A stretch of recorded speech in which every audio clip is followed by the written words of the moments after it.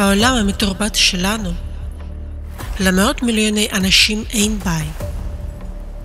אנשים חיים ברחובות כמו כלבים משוטטים.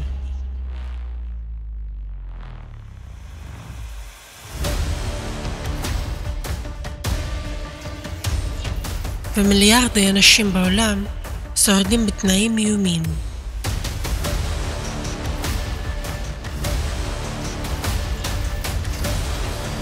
מדי שנה מתווספים עליהם עשרות מיליוני פליטים.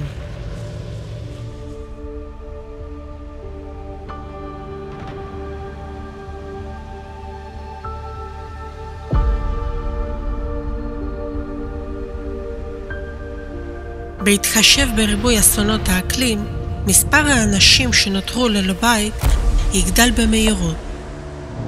כולם שוכחים מהאנשים שנפגעו. הם חודשים ואף שנים לאחר אסונות טבע ממשיכים לחיות ללא עזרה, בתנאים קשים ובלתי אנושיים. ואיך זה קשור עליי, אתה שואל, בצורה ישירה, בתנאים האכזריים של הפורמט הצרכני ומשבר האקלים שהולך וגובר, עומדות בפניכם רק שתי אפשרויות, או שתישארו ברחוב, או שמי שנשאר חסר בית יגיע עליכם הביתה. מדוע אנו מאפשרים זאת בהתחשב לטכנולוגיות המודרניות?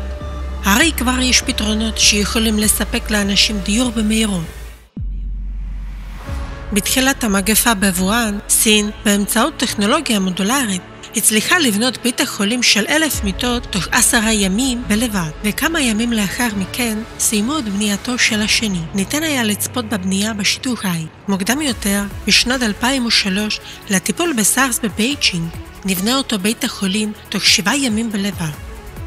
בהודו, בשנת 2012 נקבע שיא לבניית בית בן עשר קומות יציב מבחינה סייסמית ב-48 שעות, ובשנת 2021 בסין הוקם בית בן עשר קומות תוך 28 שעות ו-45 דקות בלבד. מוקדם יותר, נבנו במפעל יחידות מודולריות קטנות אוטונומיות. לאחר השלמת הרכבת המבנה הראשי, המומחים התקינו מים בחשמל לבית. הבניין נמסר מרוהט מלא.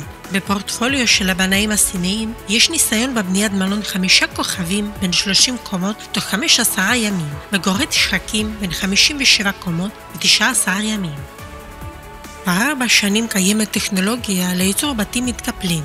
המסוע מייצר מבנים מתקפלים בשטח של כ-35 מטרים מרובעים, וההרכבה שלהם אורכת רק 48 דקות, לא שעות, דקות. הבעלים צריכים רק לשים ספה, כאינסטלציה, ריהוט מטבח ומכשירי חשמל ביתיים כבר כלולים בחבילה. הבתים חסיני אש, עמידים בפני כפור, עמידים למים ועמידים בפני רוחות הוריקן.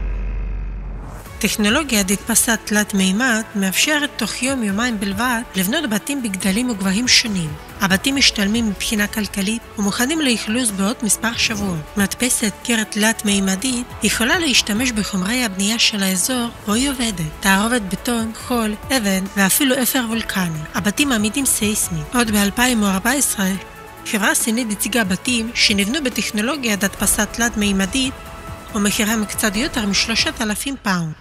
שנה לאחר מכן היא שיפרה את הטכנולוגיה והדפיסה בית בן חמש קומות. טכנולוגיות כאלה יכולות לספק דיור לכל האנשים ולהציל את חייהם ובריאותם.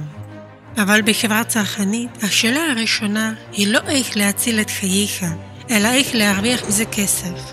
בפורמט הצרכני של החברה, אתה נשאר לבד עם הבעיות שלך. למעשה, אף אחד לא צריך אותך.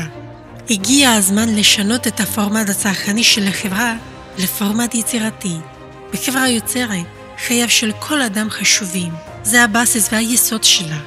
לכן, הטכנולוגיה משמשת למען החיים, אך לא למטרות רווח, והם מכוונים אך ורק לשיפור איכות חיי אדם. כפי שאתה יכול לראות, טכנולוגיות שיכולות לספק לאדם דיור כבר קיימות, אך תנאי הפורמט הצרכני אינם מאפשרים ליישם אותם. לכן הדבר היחיד שניתן לעשות הוא לשנות את הפורמט ליצירתי.